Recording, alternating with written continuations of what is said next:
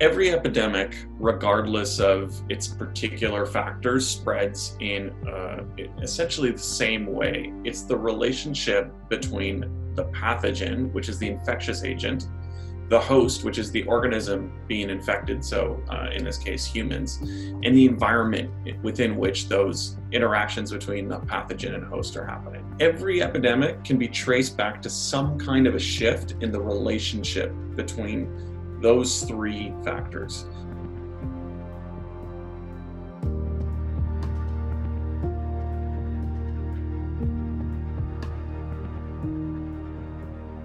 I think the, the biggest unknown right now in terms of the host, the pathogen, and the environment, this epidemic triangle that we're constantly tracking to understand whether an epidemic is going to spread or not.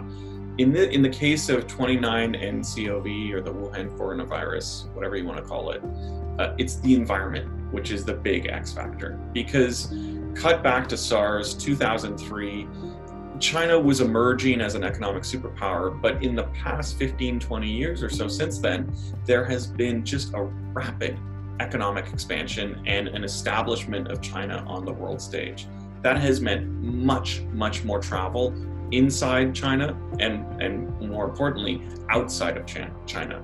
So the number of international air routes that are now moving in and out of China are three times as high as as many as there were in the in the days of SARS. So you can just think about the magnitude of routes by which the pathogen can spread. That has opened up the environment in really unpredictable ways, and it makes it a lot more difficult to track and ultimately a lot more difficult to control.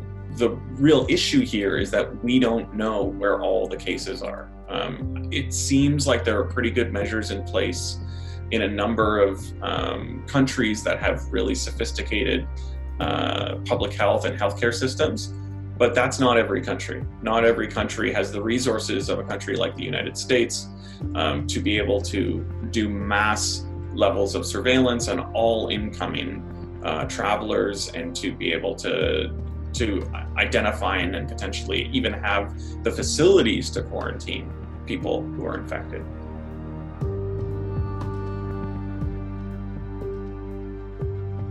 The real question is whether these countries that have less well resourced healthcare systems are first able to identify infections, and secondly, if they're able to identify all the infections, whether they have even appropriate resources or, or, or facilities to, to properly quarantine people. And that will determine, I think, largely whether uh, the coronavirus keeps on spreading or not.